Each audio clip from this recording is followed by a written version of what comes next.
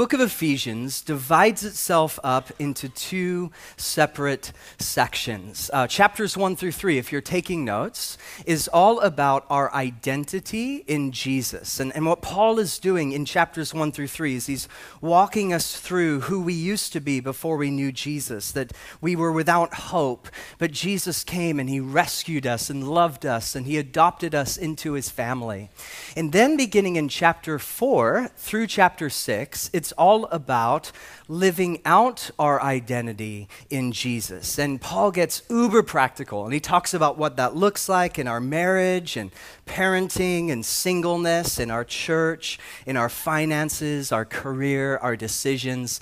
And so that's where we are today, where Paul here is really encouraging us to live out who God says we already are. So, with that, let's just dive in. Verse 17, Paul says this So I tell you, and I insist on it in the Lord, that you must no longer live as the Gentiles do in the futility of their thinking. They are darkened in their understanding and separated from the life of God because of the ignorance that is in them due to the hardening of their hearts. Having lost all sensitivity, they have given themselves over to sensuality so as to indulge in every kind of impurity, and they are full of greed. That, however, verse 20, is not the way of life you have learned. When you heard about Christ and were taught in him in accordance with the truth that is in Jesus, you were taught, with regard to your former way of life, to put off your old self which is being corrupted by its deceitful desires, to be made new in the attitude of your minds, and to put on the new self, created to be like God in true righteousness and in holiness. Verse 25 Therefore, each of you must put off falsehood and speak truthfully to your neighbor, for we are all members of one body. Oh my goodness, I wish we had about three hours together to unpack this. This is so, so good, so convicting. Um, Paul says, Look, you have a new identity. You're, you're loved by God. And because of love, he says we shouldn't live the way that we used to live. Think back to your BC days, your before Christ days, and, and think about how you lived and the words you said and the places you went. Paul says that was the old you, but when you encountered Jesus, you became a new creation. And now he says that we are to live a life of holiness. Now, I know a lot of people, when they hear the word holiness, they kind of put their guard up up or whatever. But really, the word holy simply means to be devoted to God, to be devoted to God. Now, when Paul wrote these words 2,000 years ago, he was writing into a culture, into a context, into a time where there was so much temptation and there was so much that was warring against living a life of holiness. I remember a few weeks ago we talked about Artemis. Artemis was the goddess that they worshiped in Ephesus, and this was a city known for its liberal sexual ethic. Um, Artemis was the goddess of sex, basically, and people would come from miles around to worship. Only the way that they worshiped was through sexual acts with prostitutes, male and female, and, and slaves. And this was part of how they thought Artemis wanted to be worship. This was endemic to the culture. And on top of that, um, it was very normal in that culture for a lack of commitment and faithfulness in marriage. In fact, the average man, history now tells us, had about four or so or more women in his life. So he would have a wife, but then he'd have three or four lovers that were on the side. And that back then was considered totally normal, totally acceptable. In fact, they, they had a word for it. They called it porneia, which is where we get our English word for porn, for pornography. And if you didn't agree uh, with this kind of sexual ethic, if you had different convictions, in Ephesus, you were considered backwards. You were considered intolerant. Why wouldn't you support our way of life? So, this is the culture that Paul is writing to. And I want you to notice right off the, off the bat the way that Paul uh, describes it. Verse 17, he says, they have futile minds. Verse 18, living in darkness, separated from God, they're ignorant.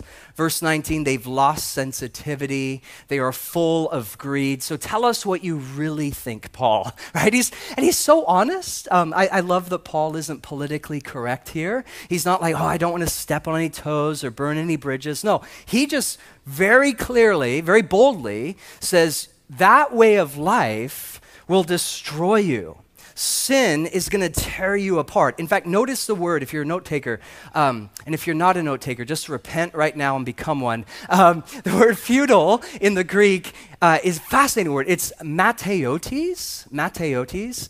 And, and the reason I have us think about it, write it down, is, is because it means without purpose, aimless, empty, and hopeless, which I think is a perfect description of the Patriots' chances of winning the Super Bowl next week, right? That's what Paul had in mind when, when he wrote this. But it's even more, it's a description of the life of, of sin.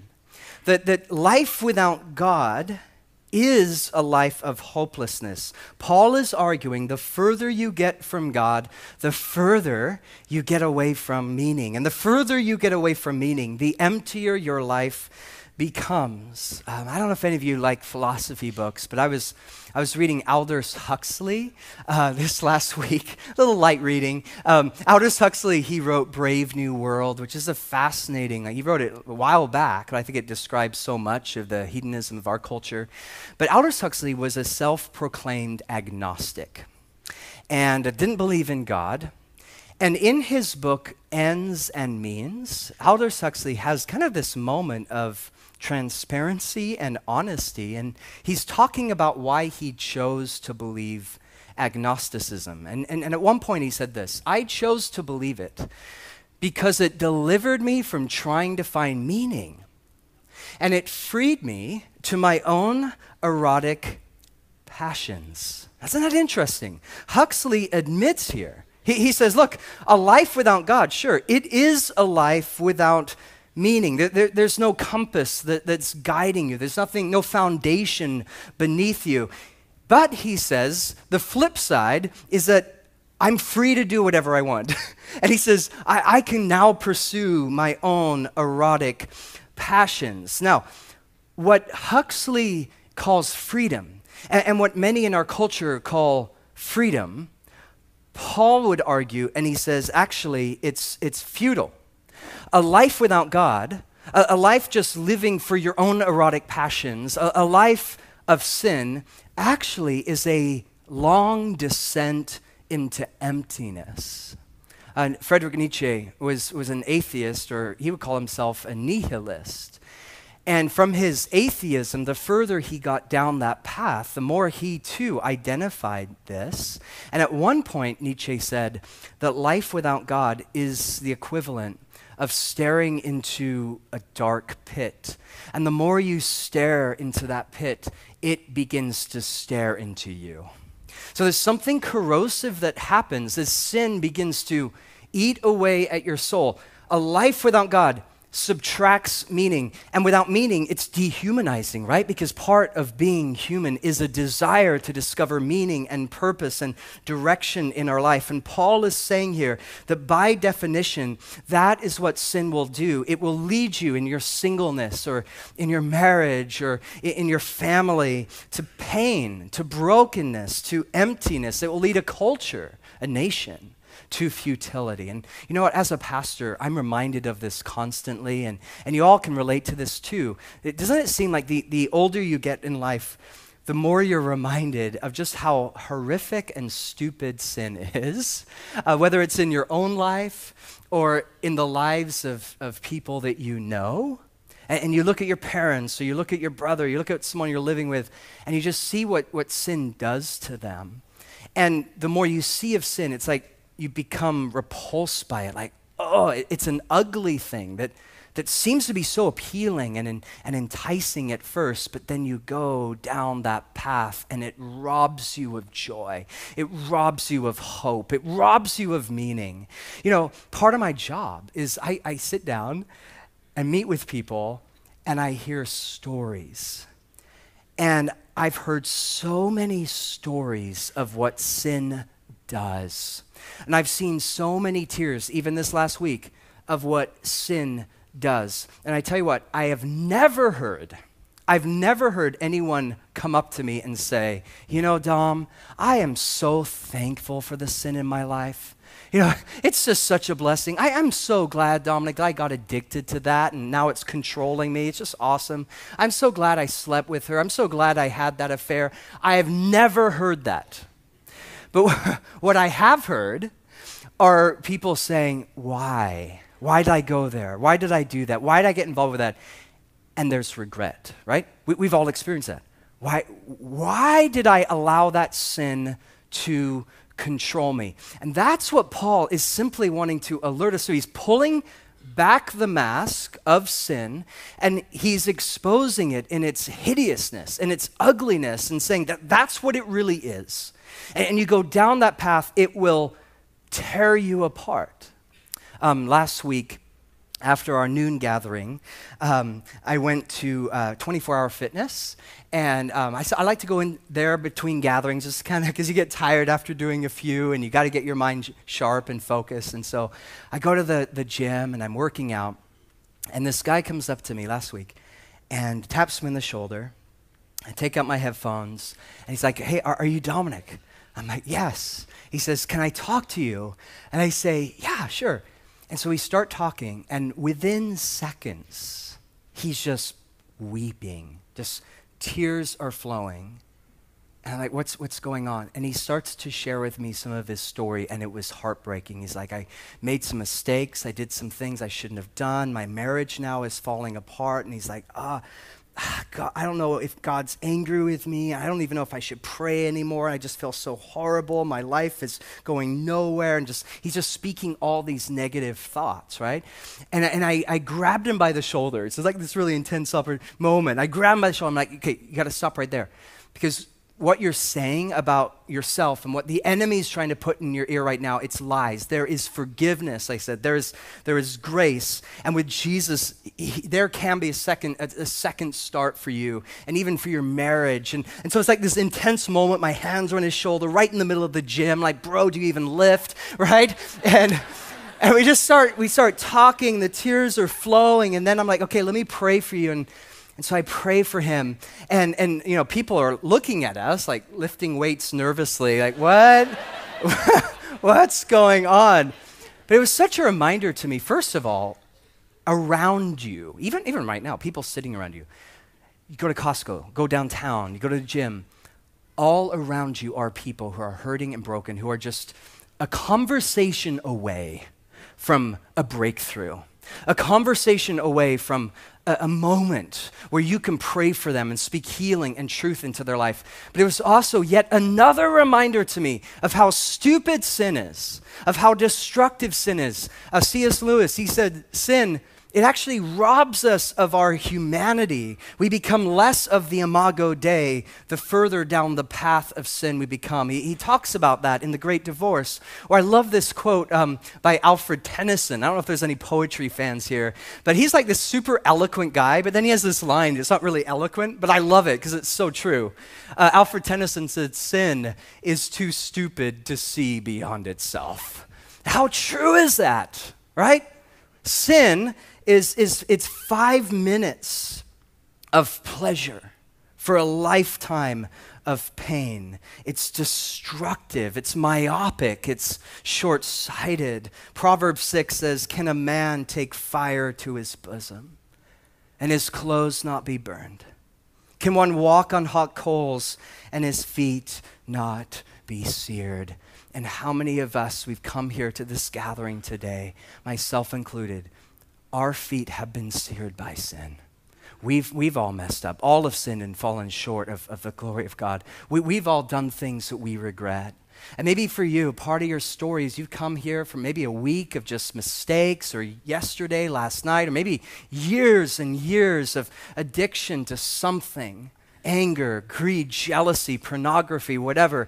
And you've come here today and it feels like you've been walking on hot coals. You feel how sin is just eroding your soul right now.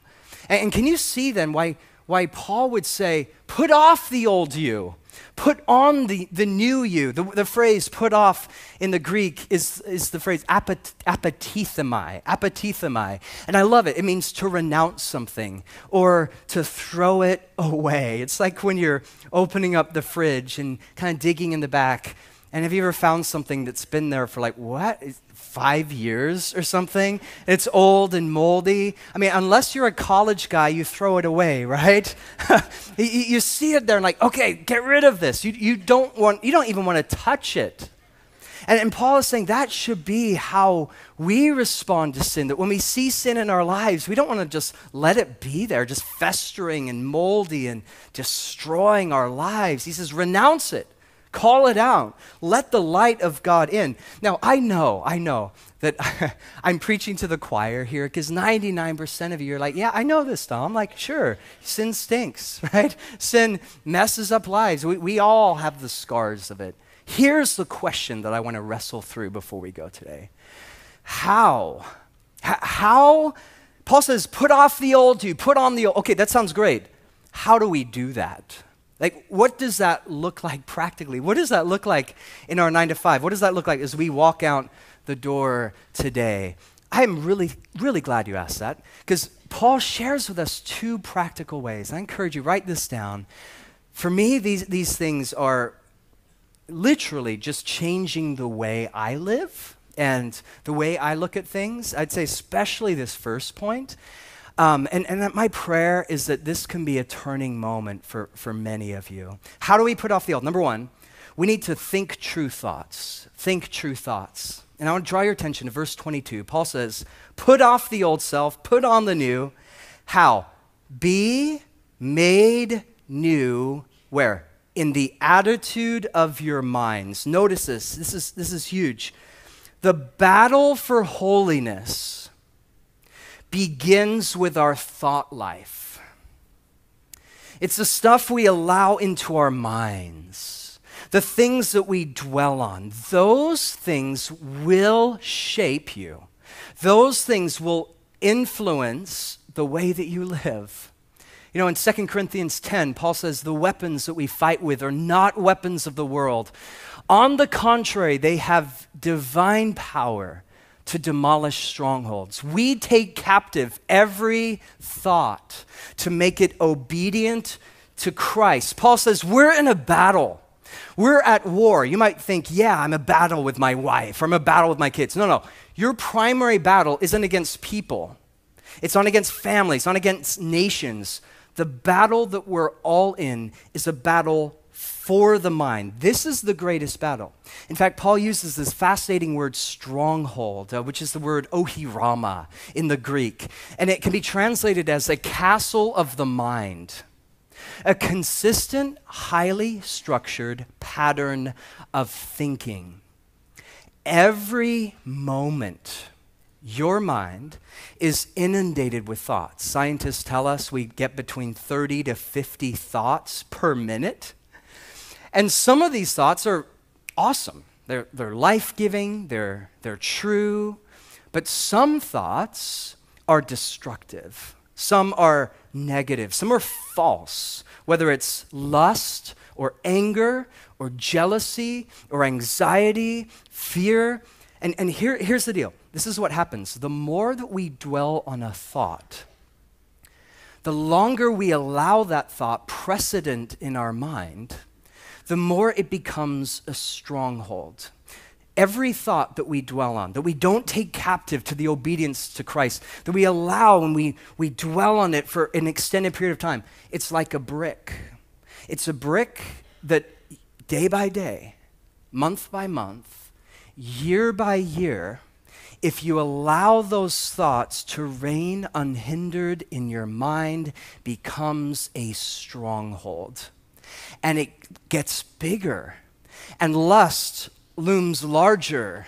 And addictions, we wonder, how can we beat it? And in time, whether it's anger, fear, whatever, in time, that strong, you no longer control it. Now, at one point, you thought you did. Big deal. I, I, can go to that website. Big deal. I, I can allow myself to be in those places. I, I can control this. We all try and justify sin that way, right? But the more you dwell on it, you're building a stronghold. So, what, what kind of stronghold are you building now? And what if, for some of us here today, that thing that you, you've allowed your mind to go there year after year after year, you thought you could control it, but now, if you're honest, it is controlling you. It's calling the shots. When, it calls, you respond. You're the slave of sin. What we think about determines who we become. I, lo- I love this quote Be careful of your thoughts, for your thoughts become your words. Be careful of your words because your words become your deeds. Be careful of your deeds. Your deeds become habits. Be careful of your habits. Your habits become character. And be careful of your character, for your character becomes your destiny. N- notice, what you think about will shape and influence who you become. And you think, well, I'm just 20, big deal, or I'm 17, it's all right, I've got this. No, I promise you, you go down that path and you allow that thing to have dominion over you, it will shape who you are at 40. And it will control who you are at 60.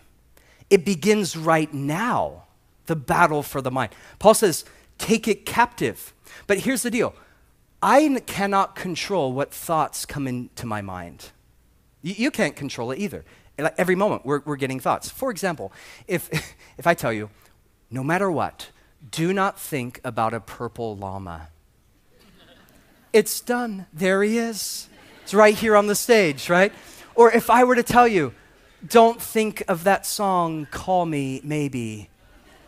Now, just by saying that, some of you have the song in your mind and you hate me for that reason, right? So we get all these thoughts. it's true. We cannot control what thoughts come into our mind. But here's the deal you can control what you do with that thought.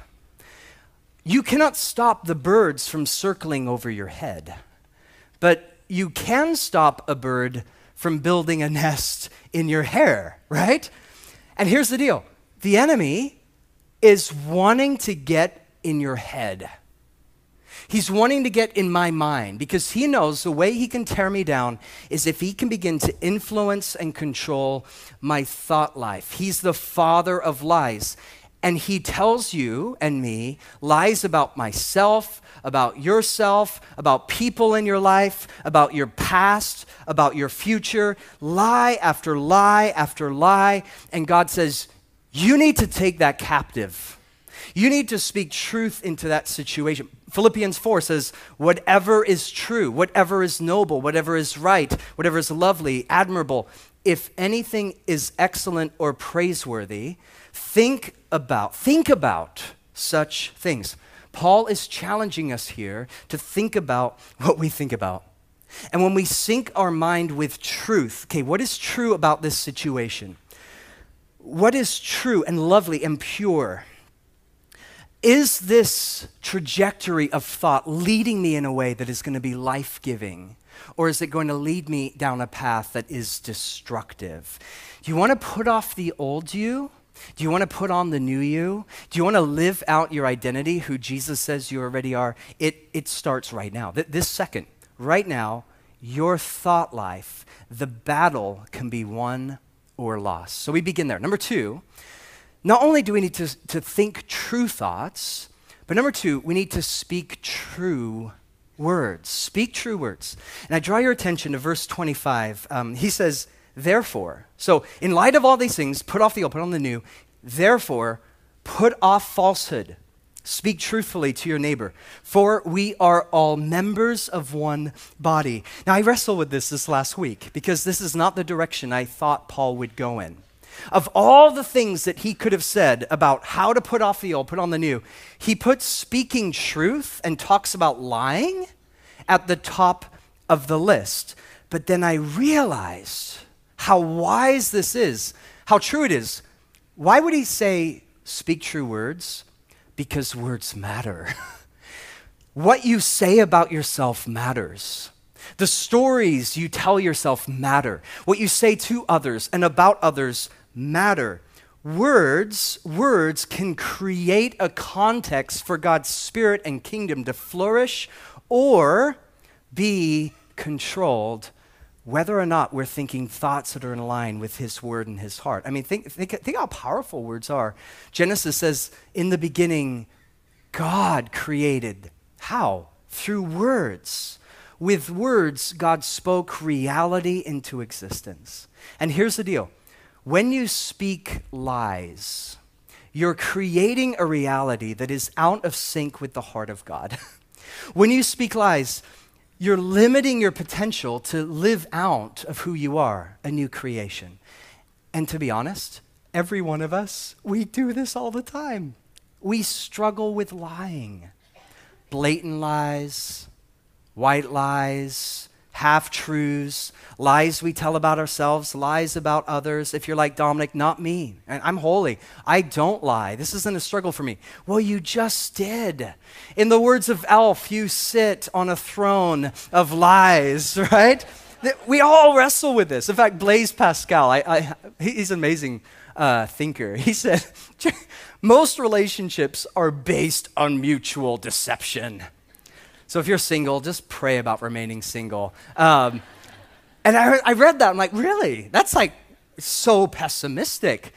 And then I did some research. Do you, do you know that science tells us that up to 10% of communication in, uh, between spouses is deceptive in, in some way.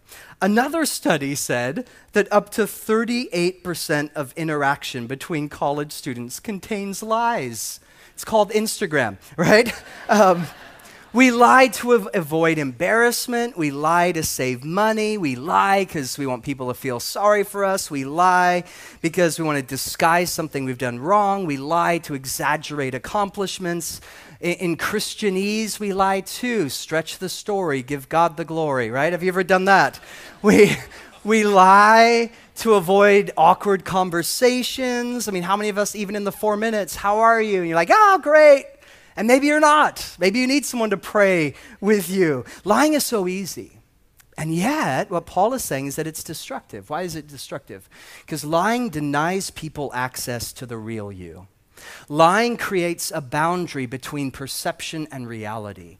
Lying erodes trust in relationship. Lying is the engine that fuels addiction. Lying sabotages sincerity and integrity. Lying creates the need to tell more lies. Now, I know we can all relate to this. I won't ask you to raise your hand because you'll probably lie. But how many of us have, we've, we've told something that isn't quite the truth, and because we, we said it, then we have to lie later on to try and keep the lie afloat, right? I was talking to a friend not too long ago. And he's like, Dom, I have a great story for you.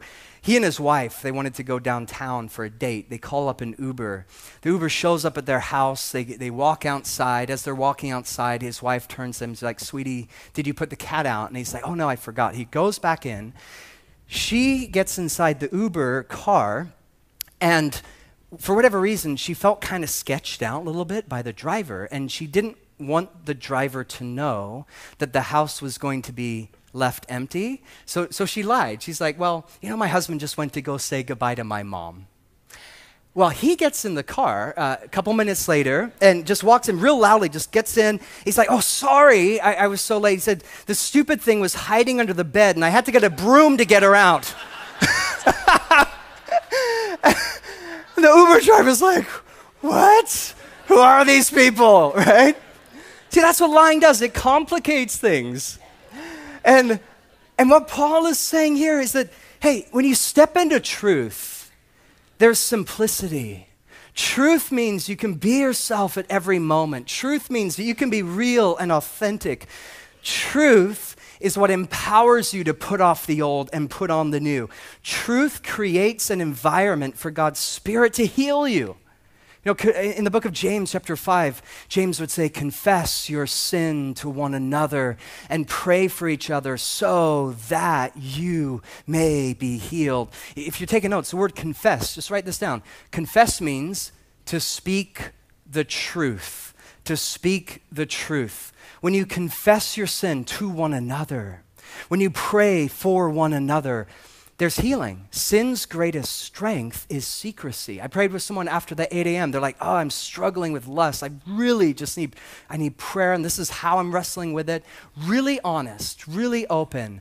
And he's like, I want to be set free. And I'm like, just by confessing it, just, just by calling it out, that sin is losing some of its strength and grip on your life. Confess. And in the process of doing it, there's healing. But I don't want to confess. Join the club. I don't either.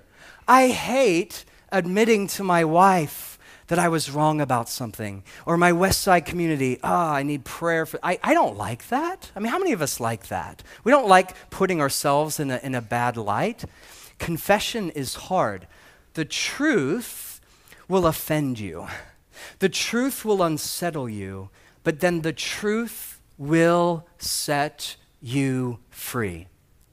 And that is why Paul is writing this because he wants those people 2,000 years ago to experience freedom, life the way that it was meant to be lived. And he wants us now in 2017 to be free from the corrosive, destructive effects of sin and to experience life as the new humanity. Think true thoughts because it begins there. Where, where's your thought life? And speak true words. How do I do that? It's scripture. Your word is truth, Jesus said in the Gospel of John. When, when you get that thought, speak scripture.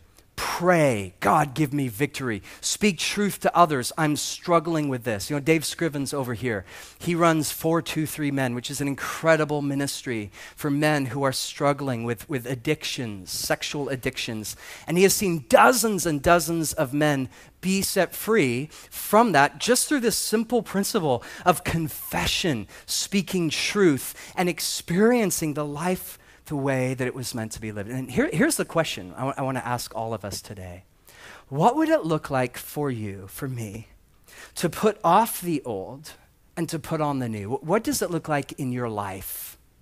What does it look like in your family, with your roommates, with your marriage? You know, for some of us, it, it is a need to confess. You've been living with a lie for a long, a long time, perhaps. It's had a grip on you, and, and it's just because you haven't yet been honest about it. You haven't been honest to others. You, you haven't been honest to those close to you. Look, I'm struggling with this. Look, I, I need help here. And because you're keeping it hidden, it continues to control you. You know, after every gathering, we have our prayer room that's open, if you need prayer for anything today, if you need to just confess your sin today, I want to give you that opportunity. There are men and women there, and they just want to speak truth over your life. You're like, I, I don't know if I want to tell them what I've done. Listen, trust me, we've heard it all. We've heard it all. You won't surprise us. Instead, what you're going to find is grace and healing, forgiveness, scripture, plugging you into a group, giving you resources so that you can grow in freedom. Maybe for some, that is just a practical way that you can do what Paul is telling you to do. Maybe for others of us, you've just been listening to lies of the enemy. How many of us do? I do this all the time. The enemy's wanting to whisper in our ears, You're not good enough. You may as well give up, throw in the towel, and brings up your past or being, brings up your struggles. Maybe it's a miracle that you're here today and, it, you just can't believe you're sitting in church right now because of the week that you lived and the mistakes that you made. And even just coming in here and hearing the songs and being surrounded by a bunch of Christians you're like, ah, I'm not worthy of this, right? But that is so from the pit of hell. It's the enemy, the father of lies, who's trying to rip you apart. And what Paul says in Ephesians is that the truest thing about you is you are a new creation. The old is gone, all things are made new. I don't feel like a new creation. That's true. But that's who God says you are, and He wants you to empower you to go and live it out. Look, we are not the people who we want to be, but praise God, you're not the person you used to be. He began a work in you, and He will be faithful to complete it. Finally, maybe there's some here today, and you just need to be empowered to know that that sin no longer has victory over you. Do you realize the chains are already broken? Do you realize the prison door is already open? And we can begin to live into that victory by thinking true thoughts and speaking true words. Remember Augustine? A, a, few weeks ago, I talked about his, his conversion story. He's an amazing guy, incredible thinker, theologian, articulate. He wrote a book called Confessions and this massive book called The City of God. And I'm not exaggerating, it's huge. But, but Augustine, before he knew Jesus, he was a philosopher and a sex addict at the same time. So he's like deep thinker, but really struggling just with lust. He had all these women in his life.